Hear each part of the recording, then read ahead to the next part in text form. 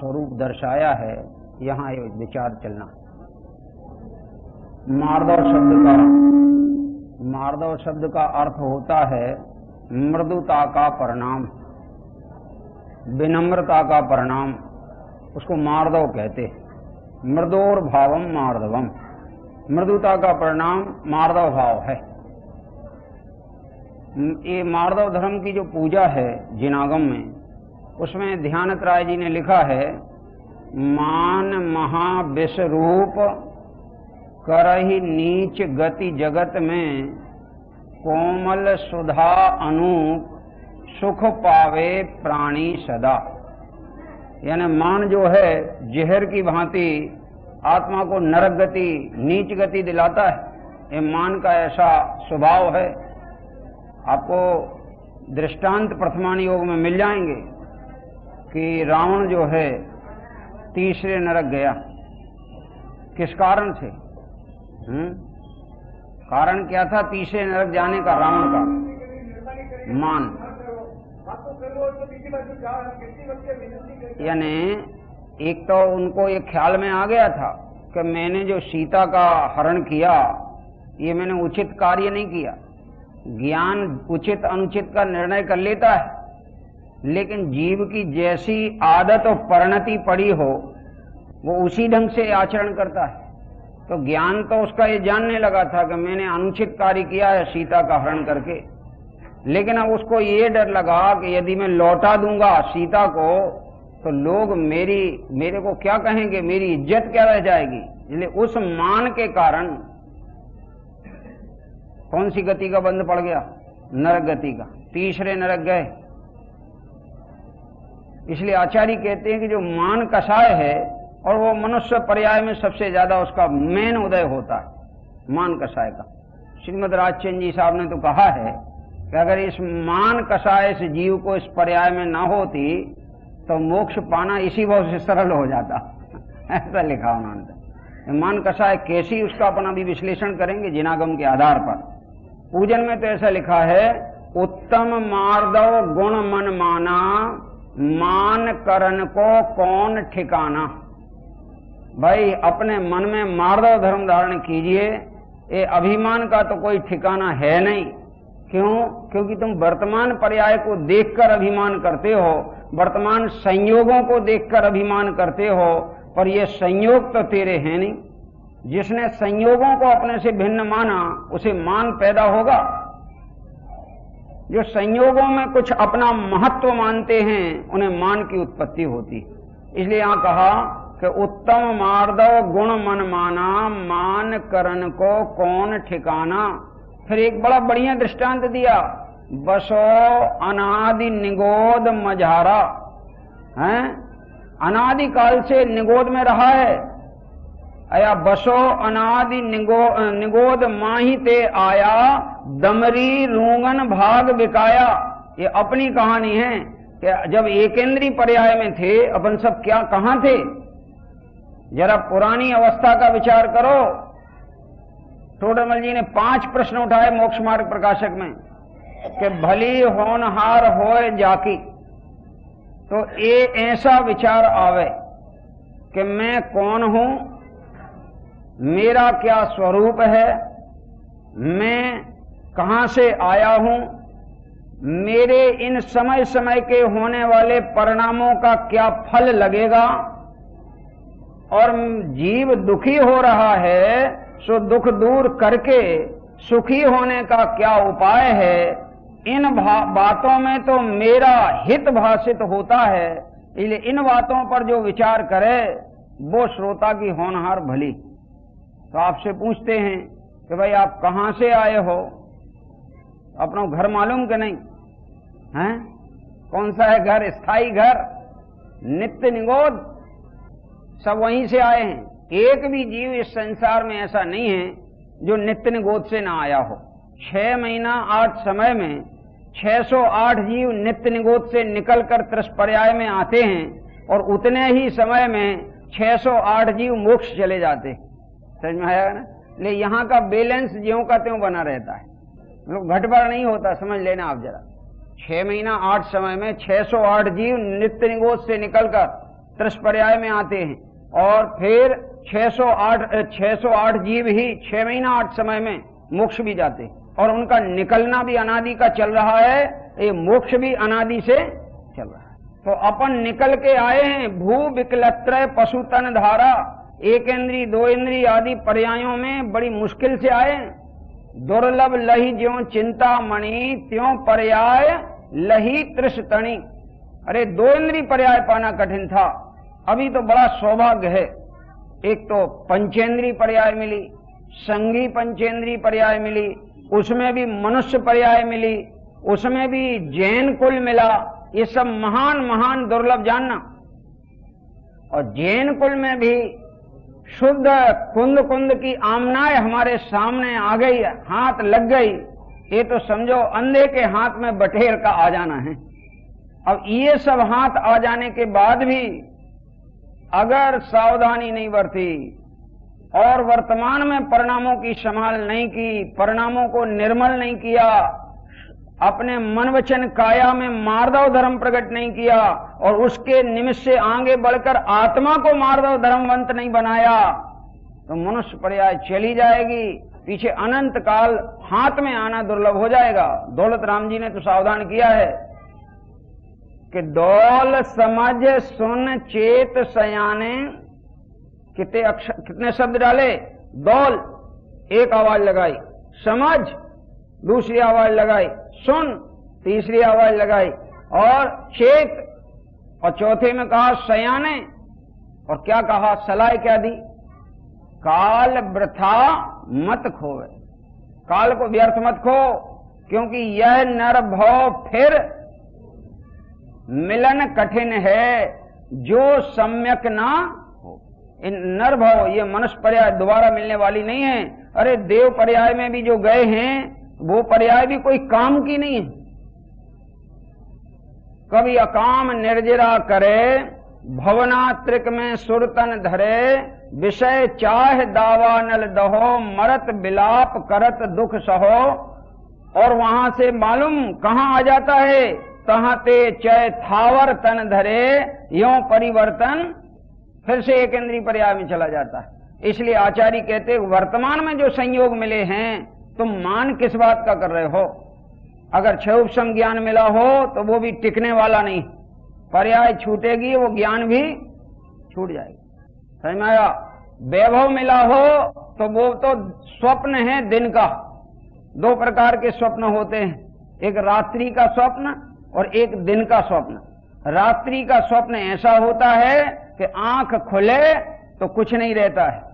और दिन का स्वप्न ऐसा होता है कि आँख बंद हो, कुछ नहीं रहता है। समझ में कि नहीं? थोड़ी सा अंतर है। मगर हैं दोनों एक ही चीज़। अभी आपको जो दिख रहा है, भरपूर संपन्नता दिख रही, वैभव दिख रहा, संयोग दिख रहा, इज़्ज़त दिख रही, आबरू दिख रही, आँख बंद होते ही साथ कुछ नहीं रहने वाला। सब चला जाएगा। इसलिए आचार्य कहते हैं कि निगोद से चले आ रहे हो, अभिमान मत करना। अभिमान करोगे तो वापस लौट जाओगे। कहा? अपने निजी घर में, माने इतर निगोद में, क्योंकि नित्य निगोद में तो कोई लौटता नहीं है। जो कोई लौटेगा, उसको दोबारा से दोबारा लौटे तो इतर निगोद में जाता है। पतन होते होते इतर निगोद में चला जाता है। इसलिए बहुत सावधानी से ये मार्दव धर्म को अपने जीवन में उतारना है। विनय से मार्दव धर्म आता है। अब ये निर्णय करना विनय कितने प्रकार की होती है और किसकी विनय की जाती है और किस विधि से की जाती है? सर्वोत्कृष्ट विनय करने लायक तो आत्मा है। सही माया? शुद्ध आत्मा है। और व्यवहार में विनय करने लायक पंच परमेष्ठी है। तो ये जो पंच परमेष्ठी की विनय है, वो तो बाह्य विनय कहलाती है, व्यवहार विनय कहलाती है, उसमें भी झुकना होता है। उसमें भी विनम्रता होती है। अगर झुके नहीं तो कुछ सीख नहीं सकता। ऐसा नियम है। कर विनय बहुगुण बड़े जन की ज्ञान का पावे उदा। वो शिष्य ही ज्ञान सीख पाता है, जो गुरु के प्रति विनम्र होता है। जो विनम्र नहीं होता, उसे कभी भी ज्ञान आता ही नहीं। तो यहाँ भी जिनेन्द्र भगवान पंच परमेष्ठी के प्रति जिन्हें विनय का भाव ना आवे, उन्हें मोक्ष मार्ग का तत्व ज्ञान प्राप्त होने वाला नहीं।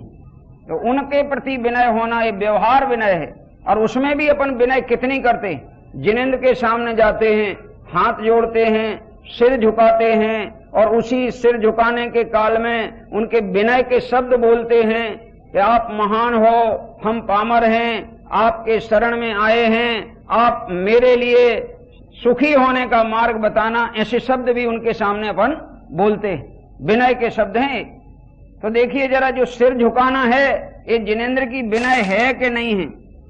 हुँ? ये जिनेन्द्र को रोज आके अपन तीन बार, गुरुदेव ने तो अपन को तीन बार विनय करना सिखाया। एक बार नहीं, जिनेन्द्र को जब नमस्कार करो तो तीन बार, मन से, वचन से और काया से। तो वो तीन ही बार मन से, वचन से, काया को दिखाने के लिए तीन बार अपन नमस्कार करते हैं जिनेन्द्र के लिए। ऐसी विनय होना चाहिए। तो ये विनय, व्यवहार में विनय है कि नहीं है? और है तो उसमें विनय कहाँ से आ गई? वो क्रिया तो सारी जड़ की है। क्या? वो जो नमस्कार करने की क्रिया है किसकी? है चेतन की कि जड़ की? जड़ की क्रिया है। उसमें विनय भाव है कि नहीं? है हम्म? थोड़ा विचारना पड़ेगा भाई। वो जो आपने नमस्कार किया जिनेन्द्र को, अथवा जो नमस्कार योग्य हैं ऐसे पंच परमेष्ठी को आपने विनय की तो उस विनय में ये शरीर के द्वारा जो विनय की, वो विनय है कि नहीं? और है तो किस नय से वो विनय है? और नहीं है तो क्यों करते हो? क्या कहा? नहीं है तो क्यों करते हो? और यदि है तो किस अपेक्षा उसे विनय कहा है? और उसमें, उसके करने से अपने को फ़ायदा है कि नुकसान? हुँ? कुछ बातें हैं ना विचारणी? हैं? वो भी विनय कहलाती है। क्योंकि ये शरीर से जो हम झुकते हैं उनके सामने तो शरीर दिखता भी उनका हमारे लिए मुद्रा दिखती, बाह्य मुद्रा। और बाह्य मुद्रा वीतरागतामय दिखती है। और अभी अपनी बाह्य मुद्रा कैसी है? वीतरागमय है कि रागमय है। आप देख लो ना तो कौन किसके सामने झुका समर्पित हुआ? राग ने जब वीतरागता के सामने समर्पण किया तो राग छूट जाएगा और वीतरागता आ जाएगी। इसलिए ये व्यवहार भी नहीं कहलाती। अनुपचरित, असद्भूत व्यवहार न से जिनेन्द्र को हाथ जोड़ना, साष्टांग नमस्कार करना या नमस्कार करना, ये व्यवहार विनय कहलाती। है वाणी की विनय ये कि उनके गुणों की महिमा को गाना, ये वाणी की विनय कहलाती है। मन में उनके प्रति अनुराग का भाव होना, ये मन की विनय कहलाती है। और उनके प्रति अनुराग करके उनके गुणों को समझकर, उन जैसे अपने गुणों की तरफ़ ढल जाना, अपने में मग्न हो जाना, ये निज की विनय कहलाती निज की विनय बाद में प्रगटती है। पहले व्यवहार से जिनेन्द्र की विनय करना सीखो। और उस विनय में इतनी बातें आना चाहिए। जिन मंदिर में प्रवेश करो, क्या? मुझे याद आ गया प्रसंग वस्तु बोल दू जरा यहाँ। यहाँ बहुत सी बातें बोलने जैसी हैं, अब बाकी वो आपके समझने जैसी हैं, और समझ में आ जाए तो उतारने जैसी हैं। उतार लो तो भला आपका, न उतारो तो कहने का कर्तव्य मेरा। मैं ये बताने को आया। ऐसी जिन मर्यादा है कि अगर मंदिर में प्रवेश करो और जूता पहन के आए हो, एक तो आना नहीं चाहिए, पर कोई बात नहीं, उसका हम निषेध नहीं कर रहे। पर पहन के आए हो, मोजा पहन के आए हो, जूता उतार रहे हो और मोजा उतार रहे हो हाथ से तो भैया हाथ धो लो, तब मंदिर में प्रवेश करो, नहीं प्रवेश करने लायक नहीं हो, अछूत हो। क्या कह रहे घूम का हो तो जड़ की तो क्रिया है जड़ की क्रिया क्या है? तू पापी है तुझ जैसे पापी को धर्म कभी उतरने वाला नहीं है। और अगर हाथ धोने लगे तो धर्म हो जाए, ऐसी बात है ही नहीं कदापि। क्या कह रहे क्या कहा? हाथ तो क्या वो कितना ही इस शरीर को धो ले तो धर्म होने वाला? धर्म तो न्यारी चीज़ है, लेकिन ये धर्म के लिए जो पूर्व भूमिका, वास्तविक शरीर के आचरण की भूमिका, वाणी के आचरण की भूमिका, जिन मंदिर में प्रवेश करो तो जिनेन्द्र भगवान के सिवाय कोई से लोक व्यवहार मत पालो। किसी को नमस्ते, जय जिनेन्द्र, कुछ नहीं करना, हाथ नहीं जोड़ना आपस में साधर्मी के नाम से।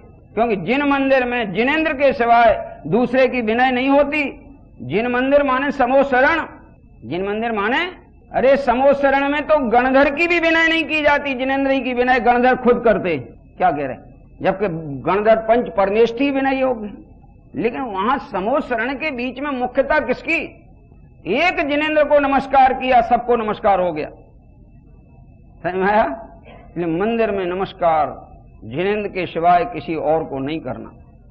ये जिन जिन मार्ग की मर्यादा है, दिगंबर मार्ग की मर्यादा है, समझ में नहीं आई हो तो समझना। आगम में देखना चाहते हो तो आगम दिखाएँगे।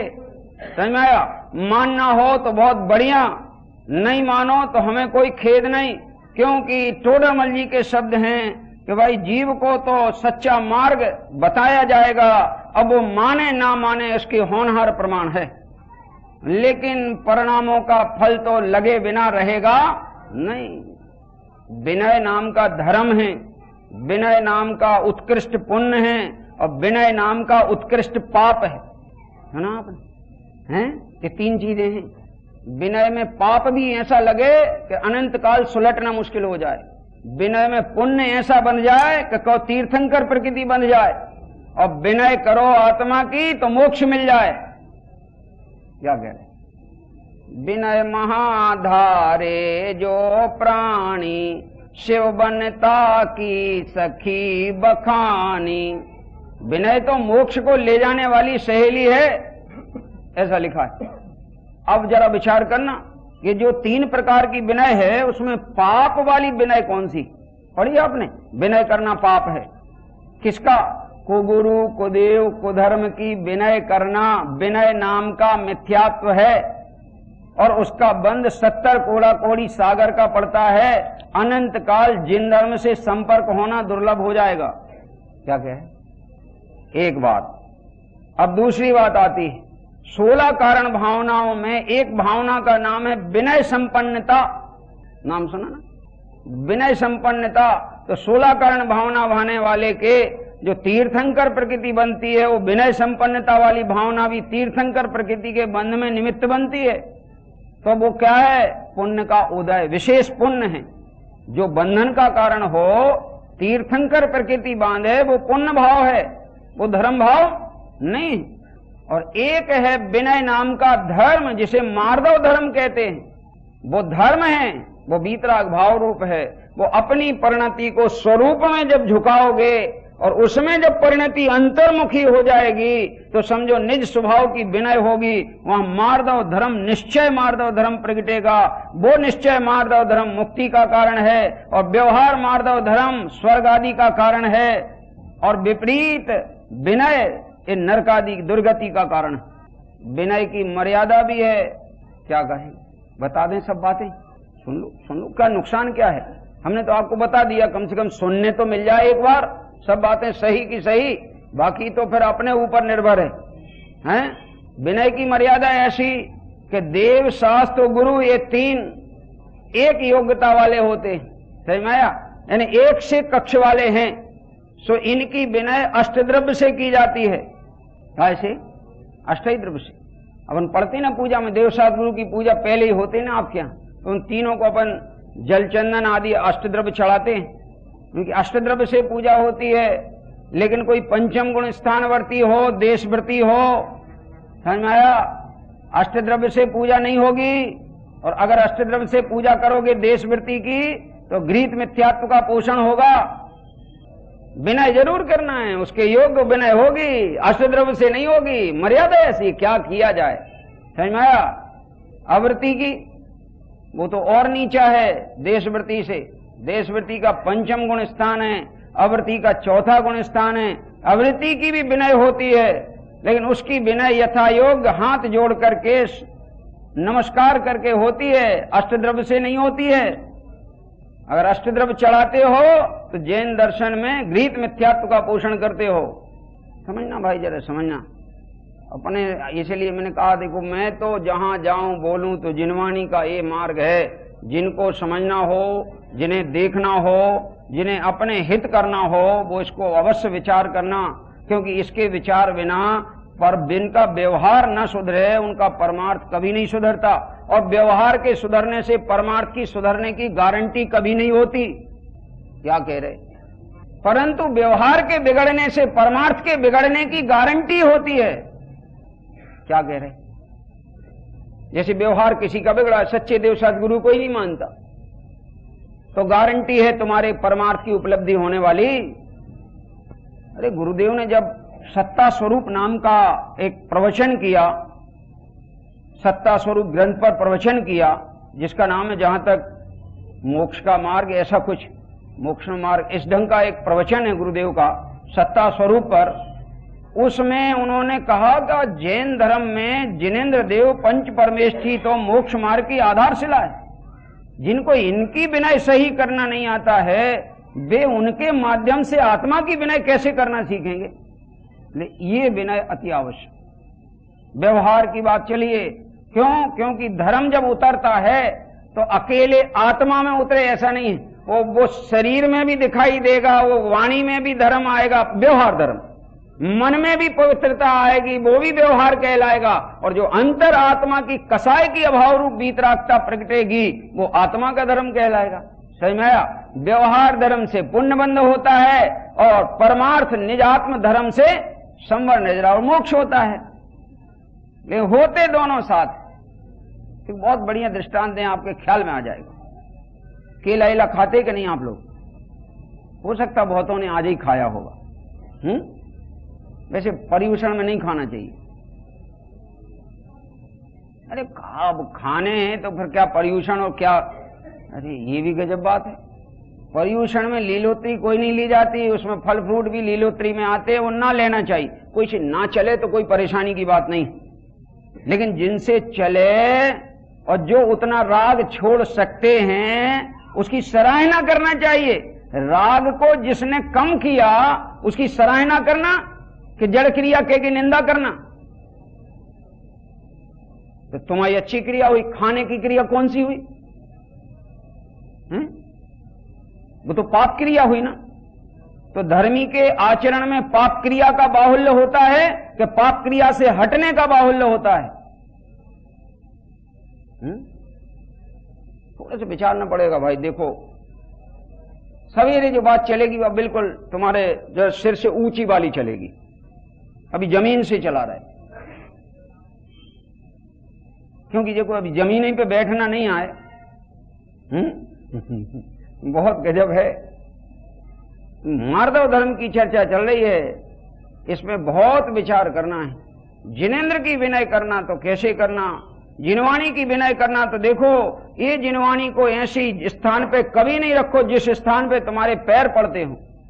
और अगर रखते हो तो जिनवाणी की बड़ी आसाधना है। मुझे पूज्य गुरुदेव की एक घटना याद आती है, साक्षात घटना पंच कल्याणक था फतेहपुर में। समझ आया गुरुदेव वहाँ पधारे और गर्मी ऐसी थी कि कोई चार गज ज़मीन को क्रॉस नहीं कर सकता था, ऐसी ज़मीन तप रही थी। और पंडाल दस हज़ार लोगों से भरा पड़ा था बिल्कुल। गुरुदेव आए, पाँच दस मिनट पहले आके बैठ गए और गर्मी बहुत थी। सबको समय सार के वो दिए गए थे छोटे छोटे बुकलेट। जिसमें दो चार गाथाएँ जो चलाना थी गुरुदेव को, वे प्रिंटेड थी, वे बुकलेट सबको दी गई थी। तो बैठे जब वे और उनकी नज़र गई समाज पे तो उसमें दो एक जन, वो बुकलेट से समझा पसीना सुखा रहे थे। वो प्रवचन जब मंगलाचरण करके शुरू किया गुरुदेव ने तो पहला उनका ये वाक, अरे, ये जिनवाणी तो भाव का अभाव करने का निमित्त है इससे जो पसीना सुखाने के लिए उपयोग कर रहे हैं, इनको जिनवाणी का मिलना अनंत काल दुर्लभ हो जाएगा। दुर्गति में चले जाओगे, पीछे जिनवाणी का सानिध्य भी कभी नहीं मिलेगा। ये गुरुदेव के वजह समझ में आया इसलिए भाई, व्यवहार विनय की बहुत भारी कीमत है। आप यूँ विचारो ना, ये ये फ़ोटो है। किसकी है? बोलो आप जरा, बोलो, किसकी है? ये गुरुदेव हैं। क्या कह रहे जे नहीं है गुरुदेव। असली गुरुदेव जे नहीं। असली तो हमने देखे हम उनके पास रहे हैं, उनके पास बैठे हैं बे असली हैं। पर जे भी जब हम इसको, इनको देखते हैं फ़ोटो को तो असली की याद दिलाते हैं कि नहीं? तो इनकी बिनाई भी कैसी? नकली मान के करना कि जैसी बिना असली की, वैसी इनकी। बोलो आप।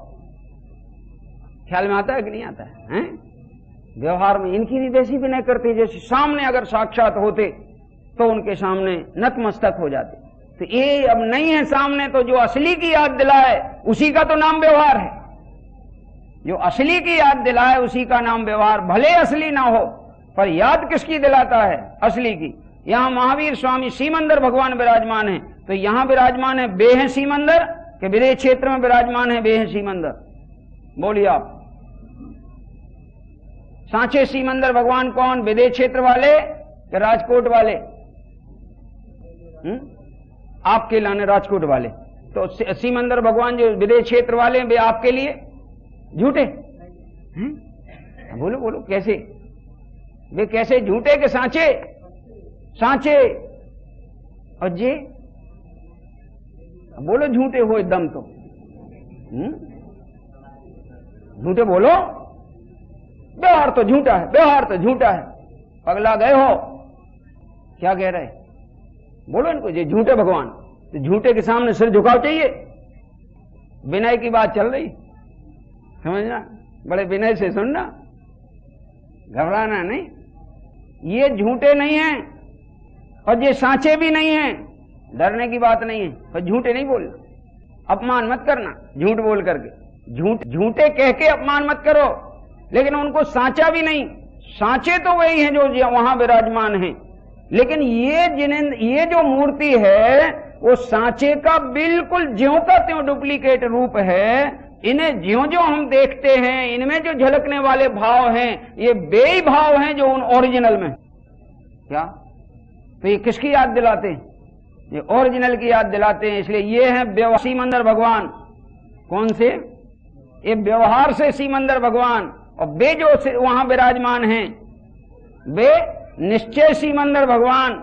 अब ये बताओ, निश्चय सीमंदर भगवान आदरणीय है कि व्यवहार सीमंदर भगवान आदरणीय है कि दोनों आदरणीय हैं? हम तो आप ही से जवाब लेंगे। हम्म? व्यवहार में वे आदरणीय हैं कि नहीं? परमार्थ से वे आदरणीय हैं। भाई यहाँ तो हमें बे, बे ओरिजिनल यहाँ उपलब्ध नहीं उपलब्ध नहीं है। तो हम तो जो ओरिजिनल की याद दिलाते हैं हम उनको ही विनय करने वाले। ठीक है ना? और यदि ओरिजिनल भी होते तो भी हम क्या करते? बताओ ना विनय तो ही करते। तो इनकी भी वही प्रयोजन जो उनकी विनय करके हम प्रयोजन साधते वो इनकी विनय करके भी वही प्रयोजन साधते। भगाना पड़ेगा। अभी तो व्यवहार जीवन में जब ये भगेगा तो परमार्थ में निरभिमान दशा प्रगटेगी निज स्वभाव के आश्रय से। पर्याय में, व्यवहार में जिसके खोटापना विराजमान है, अपने सम्यक दर्शन पाना हो तो सम्यक दृष्टि की भूमिका कैसी चाहिए, आप देख लो इनका जीवन बरैया जी का, जिनकी जैन सिद्धांत प्रवेशिका है गोपाल दास जी बरैया। टिकट तुम्हारे से रेल यात्रा कर रहे थे, घटना है उनकी जीवन की। और रेल यात्रा करते हुए उनका बालक उनके साथ में था। और गवर्नमेंट का नियम था कि तीन वर्ष के बालक तक का टिकट नहीं लगता। और तीन के बाद वाले का आधा टिकट लगे। तो वो जिस दिन उनने यात्रा प्रारंभ की, बालक एक दिन कम था तो उसकी टिकट नहीं ली। लेकिन यात्रा में दो दिन लग गए तो एक दिन तक जब तक वो तीन वर्ष का नहीं हुआ तो टिकट नहीं ली। और जब आगे के स्टेशन पर पहुँच करके वो तीन वर्ष का पूरा हो गया तो टिकट लेने पहुँच गए। तो उसने कहा, आपने जहाँ से यात्रा शुरू की वहीं से क्यों नहीं लिया? तो कहा, नहीं साहब, उस समय वो तीन वर्ष का पूरा नहीं हुआ था। और आज तीन वर्ष का हो गया, इसलिए ले रहे अरे, उसने कहा, कुछ नहीं होता, चले जाओ। नहीं, ऐसा नहीं होगा। हम राज्य के नियम का उल्लंघन नहीं करेंगे। हम ऐसा काम राज्य के नियम की चोरी नहीं करेंगे। और उन्होंने टिकट लिया। ये व्यवहार है। लेकिन ये व्यवहार से कोई कुछ सम्यक दर्शन हो जाए ऐसी कोई बात नहीं है। लेकिन जिनके सम्यक दर्शन पाने की पात्रता होती है उनका व्यवहार बहुत निर्मल हो जाता है अतिशय निर्मल हो जाता है। अरे गुरुदेव का जीवन तो देखो। गुरुदेव तो ये अरे भाई ध्यान से देख के चलना ये चीटी मरना नहीं चाहिए। ये भी भगवान आत्मा घूम रहा है। गया एक स्वभावी भगवान आत्मा। ये यहाँ चीटे बहुत हैं। हम बहुत शिकायत, बहुत चीटे यहाँ पर। है ना, वो बड़े बड़े है ना, कीड़े। बहुत से हैं। तो साहब, उन, उनको देख के चलना। उन्होंने कहा है, कोई किसी को मार सकता नहीं, कोई किसी को बचा सकता नहीं। तुमने बहुत अच्छा समय सार पढ़ा है, दुर्गति जाने का काम आएगा। क्या हम गाथा सुना दें? गाथा तो हमें भी याद है। क्या कह रहे हैं? लेकिन भैया, जब भी देख के चलना तो वहाँ चलना, देख के चलना। तुम्हारे प्रमाद के निमित्त से जीव का घात ना हो। बाकी तो उसे जब मरना है, अपने आयुष्य से मरेगा। न तुम बचा सकते हो, न तुम मार सकते हो। मारने और बचाने का जो विकल्प है, वो अध्यवसान है। क्या कहा? अध्यवसान है। बंद का कारण है। तो भाई ये बताओ, जब दो ही बंद के कारण हैं तो हम बचावे को भी अध्यवसान क्यों करें? बचाने का भी अध्यवसान क्यों करें? आचार्य तो कहते तुम दोनों ही अध्यवसान मत करो।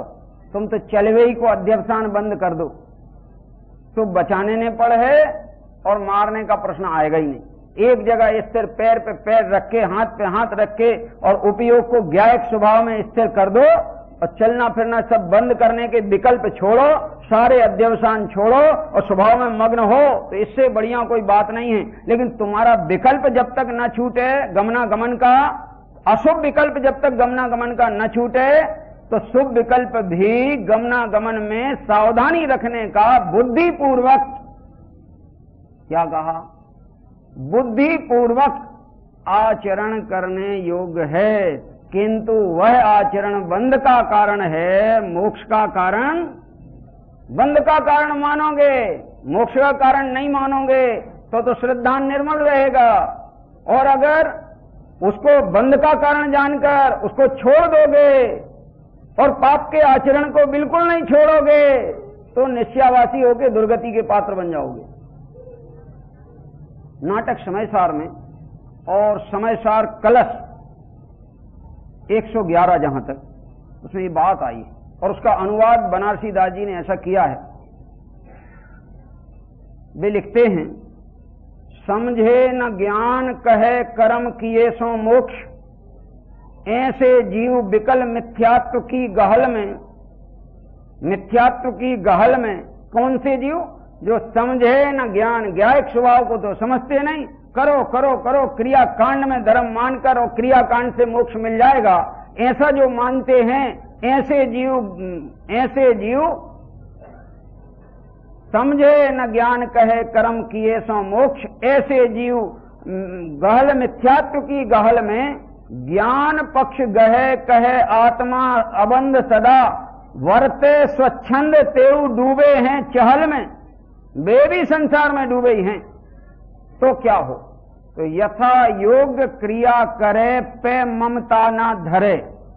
देखो, ये नाटक समझदार सुना रहे खोल के देख लेना। यथा योग क्रिया करे, पे ममता ना धरे। ये क्रिया मेरी है, मैं इसका करता हूँ, ऐसे ममता भाव नहीं हो अच्छा ये बताओ साहब, दुकान खोलते कि नहीं आप? कौन की, दूसरे की कि अपनी? दुकान तुम्हारी है? हुँ? तुम्हारी है? तो काय को खोलते हो? और खोलने का विकल्प बुद्धिपूर्वक आता है क्या बुद्धिपूर्वक? टाइम बार बार खुद देख करके जाते हो सावधानी पूर्वक लेट ना हो जाए। ये बुद्धिपूर्वक क्या बुद्धिपूर्वक? और दुकान तुम्हारी है? तो जो भाव रखने लायक है कि छोड़ने लायक? हुँ? है तो छोड़ने लायक। अब देखो उसमें कैसा कह रहा है तो छोड़ने लायक, परंतु हम समझ गए तुम्हारी आदत क्या है? पाप को तो छोड़ सकते ही नहीं हो मैं तो रचे पचे हो। तो वो छोड़वे लायक तुम है तो छोड़वे लायक, परंतु बोलो, कर की चोरी छोड़ने लायक है कि रखने लायक?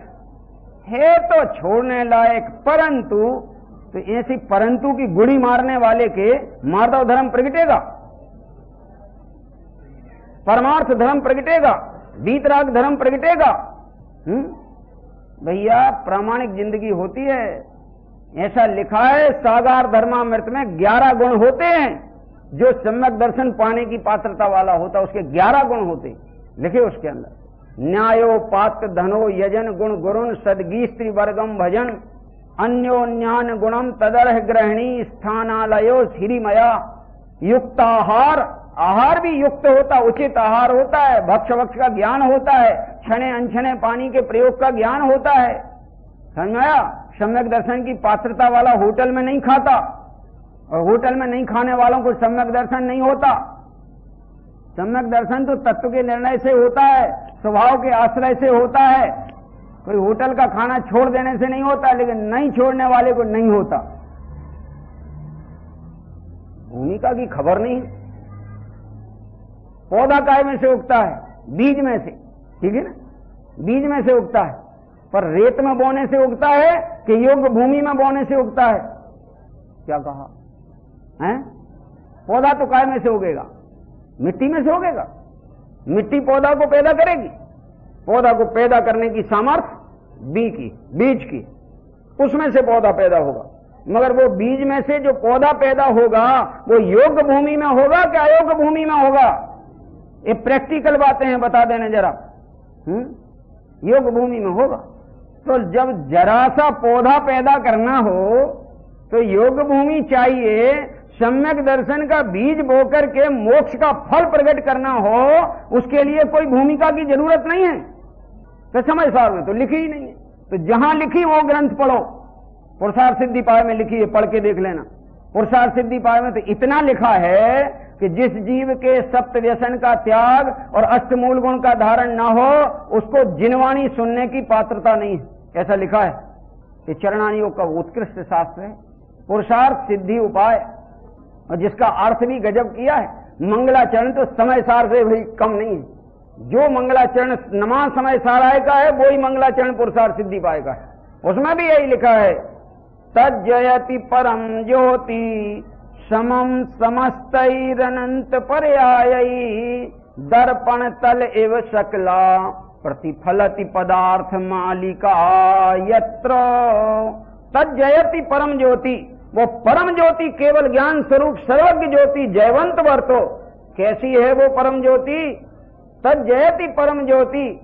समम माने एक ही साथ समस्त ही माने समस्त द्रव्य। और समस्त द्रव्यों के उनके अनंत ही गुण पर्याय समझ। अनंत गुण पर्याय सहित युग पथ कैसे झलकाती है? दर्पण तल एव सकला। जैसे दर्पण पर इधर बैठे हुए हज़ार व्यक्ति एक साथ झलकते हैं और उनकी अपनी अपनी विशेषताओं के साथ झलकते हैं, ऐसे केवल ज्ञानी के ज्ञान में दर्पण तल एव सकला प्रतिफलती पदार्थ मालिका यत्र। सारे के सारे जगत के जितने पदार्थ हैं, वे ज्यो के त्यों दर्पणवत झलकते हैं। पदार्थ अपनी जगह रहते हैं, ज्ञान अपनी जगह रहता है। झलकते हैं, ज्ञान में ज्यो के त्यों आते हैं और इसीलिए दिव्य ध्वनि में उनकी ज्यो की त्यों घोषणा होती है, यहाँ तक कि कौन पर्याय कब होगी, एक क्रमबद्ध की घोषणा भी सर्वज्ञता के बल पर ही होती है। सर्वज्ञता को न माना जाए तो क्रमबद्धता कोई कई चीज़ ही नहीं ठहरती। क्या कह रहे? और सर्वज्ञता को मानने में, सर्व को जानते न माना जाए, आज मैंने बहुत श्लोक पढ़े, बहुत गाथाएँ पढ़ी, नियम सार की बीस गाथाएँ पढ़ी, जिनमें ये यही चर्चा आई। समझ में आया? बीस गाथाएँ। दोपहरी में आज यही काम हुआ। और उसकी टीकाएँ भी पढ़ी पूरी की पूरी। उसका भावार्थ, अर्थ सब देखा कंप्लीट देखा। आचार्य ने गजब कर दिया, पद्म प्रबंधदारी देव ने गजब किया। थोड़ा बैठो, शांति से, और विचार करके देखो जरा कि आपकी नज़र में एक गाथा है कि वे बीस गाथाएँ हो। टाइम किसी को तो हमें दोपहरी भर टाइम दिखाएँगे हम, देखना आप, नज़र आपकी। वस्तु स्वरूप वहाँ लिखा है। निर्णय आपको अपने ज्ञान से करना है। कोई के ज्ञान मोक्ष मार्ग के लिए किसी का ज्ञान काम नहीं आता। निर्णय के लिए तो निजी ज्ञान चाहिए। ये टोडरमल जी ने लिखा मोक्ष मार्ग प्रकाशक में निर्णय के लिए निजी ज्ञान चाहिए। केवल मार्गदर्शन के लिए दूसरा मार्गदर्शन करेगा। निर्णय कौन करेगा? कि तुम कर दो निर्णय। दूसरा क्या करेगा? दूसरे का निर्णय तुम्हारे कोई काम का? इसलिए कुंद कुंदाचार्य ने तो ये कहा मैंने जो निज वैभव से मैं एकत्व वक्त आत्मा को दिखाऊँगा, मैंने तो निर्णय पक्का किया है, पर तुम भी प्रमाण करना कैसे अपने अनुभव से परीक्षा करके प्रमाण करना। क्योंकि कुंद कुंदाचार्य ने कहा है, इसलिए एकदम से मान मत लेना, क्योंकि जैन आगम में व्यक्ति की प्रमाणता से प्रमाणता नहीं है। जैन आगम में तो वो चीज़ को अनुभव की प्रमाणता आवे तो प्रमाणता होती और अनुभव सांचा कब कहलाता है? कि अनुभव भी परंपरा से मिलता हो। आचार्य की परंपरा से अनुभव मिले तो अनुभव सांचा नहीं तो अनुभव झूठा, परंपरा झूठी नहीं। फेरफार फिर करना कि हमारी अनुभूति में कोई गड़बड़ी है। आगम अनुसार अभी हो नहीं रही। इसलिए आगम परंपरा से मिले वो अनुभूति सांची, और आगम परंपरा सांची जो होती है, उसमें निर्दोष युक्तियाँ होती हैं। और निर्दोष युक्तियों का ही वास्तव में कथन परमागम में होता है। इसलिए कुंद कुंद आचार्य तो कहते, मेरा जो निज वैभव प्रगटा, वो परमागम के अभ्यास से प्रगटा, और निर्दोष युक्तियों का अवलंबन लेने से प्रगटा, और परंपरा गुरुओं के प्रसाद से प्रगटा, और वाकई में तो निज आत्मा के अनुभव करने से मेरा निज वैभव प्रगट। इसलिए मैं आपको सारा का सारा जो वस्तु स्वरूप है, निज वैभव से दिखाऊँगा, तुम भी अब उसको देखना तो हमारे वैभव से नहीं। आप अपने निज वैभव से देखना। क्यों साहब। आपका निज वैभव क्या है? पता तो लगा लेंगे आप अपना निज वैभव कैसे मानते हो? अरे भाई निज वैभव से तो दिखाएँगे शुद्धात्मा को। शुद्धात्मा को तो दिखाएँगे और देखना है। कैसे दिखाएँगे? मैं अपने संपूर्ण वैभव से दिखाऊँगा। तो वो वैभव क्या है? कि उनकी पर्याय में जो शुद्धात्मा के लक्ष्य से प्रगति जो निर्मल अनुभूति है वो उनका निज वैभव है। तुम्हारी पर्याय में जो प्रगट ज्ञान है, वो प्रगट ज्ञान सब सब बहिर्मुखी, मुखी लक्ष्य छोड़कर अंतर्मुखी बने सो वो ही तुम्हारा निज वैभव है। उनने उस शुद्धात्मा को निज वैभव में प्रमाण किया। आप भी अपने अंतर्मुखी पुरुषार्थ के द्वारा उस शुद्धात्मा को निज वैभव में प्रमाण करना, प्रमाण करोगे तो उत्तम मार्दव धर्म प्रकट हो जाएगा। वो निश्चय धर्म होगा। वो मोक्ष का कारण होगा। बंध का कारण नहीं होगा। लेकिन जो जीवन में विनम्रता आएगी बड़ों की विनय करने की विनम्रता आएगी, वो विनम्रता वास्तव में व्यवहार मार्दव धर्म कहलाती। और ज्ञानी के व्यवहार और निश्चय साथ साथ चलते। तो मैंने केले की बात की थी, लेकिन दृष्टांत को घटाया नहीं, अब बताता हूँ जरा। कही थी ना बात केले की, कि भाई देखो, केला है, बाज़ार से आप खरीदते हो। ये बताओ, आपके लक्ष्य में जब केला खरीदने का भाव आता है तो क्या देख के केला खरीदते हो? अंदर का माल देखते हो कि बाहर का छिलका ही देखते हो? हम्म? जरा जवाब तो दे भाई, बड़ी सरल सरल बातें हैं, रोज की डेली लाइफ में आने वाली बातें हम्म? माल देखते हो, छील के देखते हो तो ठीक है कि गलत है। छील के नहीं देखते, ऊपर का छिलका ही देखते। जिसका छिलका सड़ा बड़ा न हो, उसका अंदर का माल भी सड़ा नहीं होगा। और जिसका छिलका ही सड़ा हो तो अंदर का माल कैसा होगा? हैं? तो बिल्कुल बाहर से छिलके को बढ़िया टाइट अच्छा देखकर लाते हो तो अंदर भी माल भी बढ़िया निकलता है। तो देखो, खरीदते हो तो क्या देखकर परीक्षा करते हो? बाहर के छिलके को देख के। छिलका केला है, क्या केले से भिन्न चीज़? नज़र छिलका खाने पे नहीं है। खरीदते में नज़र काय पे? छिलके पे। और खाते वक्त में नज़र काय पे? छिलके पे कि माल पे? हम्म? तो अब ये बताओ खरीदते वक्त छिलके पे नज़र रखना उपयोगी है कि बेकार है? नहीं समझ में आ रही। कल जाना बाज़ार में खरीदना फिर विचार करना जी हमारे हमारे इस दृष्टांत का कि आप जब बाज़ार में खरीदते हो, क्या देखते हो? तो भैया मुझे छील के दिखाओ यार, क्योंकि हमें तो निश्चय चाहिए, व्यवहार की आवश्यकता नहीं है। छील के दो। तो वो कहे कि छील छील के नहीं बिकते। जाओ, तुमको केला खाना आता नहीं, कोई और दुकान पे जाओ, या पगला गए हो तुम। छिले हुए केले कहीं नहीं बिकते। क्योंकि छिले हुए केले कभी टिकते ही नहीं। वे जल्दी गल जाते, नष्ट हो जाते। जिन केले पे व्यवहार का संरक्षण ना हो, वो परमार्थ नियम से बिगड़े बिना रहता समझाया तो वो वो केले के छिलके जो हमने खाते वक्त फेंके निर्दयता से, उनने उस असली केले का बुरा किया कि भला किया, ये पूछना चाहता हूँ। रक्षा की कि नाश किया, ये बताओ आप। हुँ? तो वो केला, अरे जब से उसका जन्म हुआ असली उसके अंदर के माल का, तब से रक्षा करने वाला कौन? है? वो छिलका। पक रहा है, तब भी रक्षा वो कर रहा है। और जब कहीं वो ही बिचारो सड़ जाए, कौन? छिलका। तो वो के अंदर के परमार्थ का क्या होगा? आप बताओ। हैं? रहेगा कि सड़ जाएगा? सड़ जाएगा। तो जिनका व्यवहार खराब हो जाता है उनका परमार्थ भी बिगड़ जाता है। समझ लेना। लेकिन व्यवहार व्यवहार है, परमार्थ परमार्थ है। व्यवहार वास्तव में चखने और खाने लायक नहीं है। समझ में आया? चखने लायक तो परमार्थ है, लेकिन परमार्थ की जो रक्षा करे, उसी का नाम तो व्यवहार है। श्रीमद राजचंद जी ने तो यही लिखा ना, एक हो तृण काल माँ, परमारथ नो पंथ। प्रेरे जे परमार्थ ने, ते व्यवहार समंत। जो परमार्थ की प्रेरणा करता है, जो परमार्थ की रक्षा करता है, उसका नाम व्यवहार है। तो ऐसा व्यवहार दृढ़ता से स्थापित करने योग्य है। परंतु अनुसरण करने योग्य, ये सब आएगा। ग्यारहवीं गाथा, आठवीं गाथा में आने वाला है। आठवीं गाथा की टीका में। सब आएगा सब आएगा। सब बताऊँगा। उसको ठिकाने से नहीं समझा तो तीन काल में मोक्ष मार्ग प्रकट होने वाला नहीं। ज़िंदगी चली जाएगी गति बंद हो जाएगा, दोबारा समझने का चांस भी नहीं रहेगा। इतनी स्पष्ट बात है भाई साहब। मेरे इन परिणामों का क्या फल लगेगा? अभी रतन चंद जी भारल ने एक पुस्तक ही लिख दी है पे एक पुस्तक लिखी है। इन भावों का क्या फल लगेगा? ऐसी एक पुस्तक लिखी, बहुत सुंदर पुस्तक लिखी है पढ़ना जरा, पढ़ना। वो उसी का आधार बना के लिखी। मेरे इन परिणामों का क्या फल लगेगा? क्योंकि जीव के समय समय परिणाम हो रहे हैं। एक समय को जीव के परिणाम रुकते नहीं। एक समय को रुकते नहीं। जब आप आराम करते ना दोपहर में, हमें पता चला राजकोट में दुकानें बंद हो जाती आराम करने को। ये आराम करना, नींद लेना और मरना एक ही बात। मरने में और नींद लेने वाले में अंतर नहीं है। बिल्कुल, केवल इतना अंतर है सांस पर चलने को। पर ज्ञान जैसे मृत का ज्ञान कोई काम का नहीं होता, मृतक का, ऐसे निद्रा में डूबे हुए का ज्ञान कोई काम का नहीं होता। इसे दिन में तो ज़्यादा कोई ऐसा सोने जैसा काम न करके अरे हमारे मुनिराज तो हो अर्ध निशा का सन्नाटा वन में वनचारी चरते हो तब शांत निराकुल मानस तुम तत्वों का चिंतन। और, और जगत क्या करता है?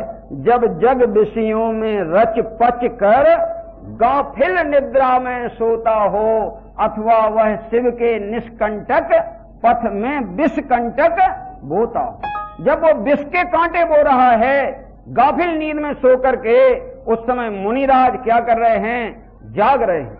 और क्या करते हैं जाग करके दिन रात एक ही काम। दिन रात आत्मा का चिंतन, मृदु संभाषण में वही कथन, निर्वस्त्र दिगंबर काया से भी प्रकट हो रहा अंतर्मन। निर्ग्रंथ दिगंबर सदज्ञानी स्वातम में सदा विचरते जो ज्ञानी, ध्यानी, समरस, सानी, द्वादश विधि तप नित करते। जो चलते, फिरते, सिद्धों से गुरु, चरणों में शीश झुकाते हैं। हम चलें आपके चरणों में नित यही भावना।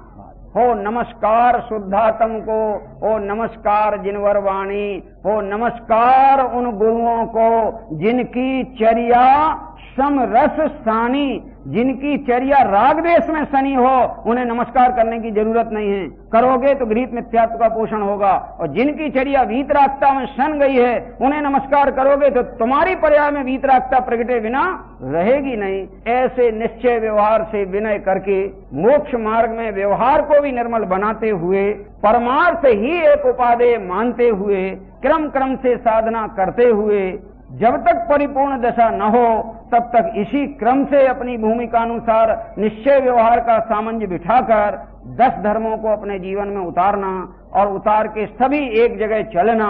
जब एक ही जगह चलना है तो निश्चय व्यवहार का सुमेल एक से ही चाहिए तो सब एक ही जगह मिल जाएँगे। और नहीं अलग अलग चले जाएँगे अलग अलग जगह से आए हैं और सब अलग अलग जगह अपने अपने परिणाम के हिसाब से चले जाएँगे।